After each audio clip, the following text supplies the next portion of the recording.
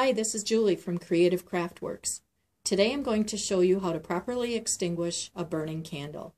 Even candles such as our clean burning soy candles that are virtually soot free will create an odor in the air if you blow out a candle the traditional way. The traditional way is just to blow it out and you can see all of the pollutants entering the air. This, the way I'm going to demonstrate today is by using a wick dipper. A wick dipper can be made by hand out of a coat hanger. Just merely put a hook on the bottom, which you will use to extinguish the candle.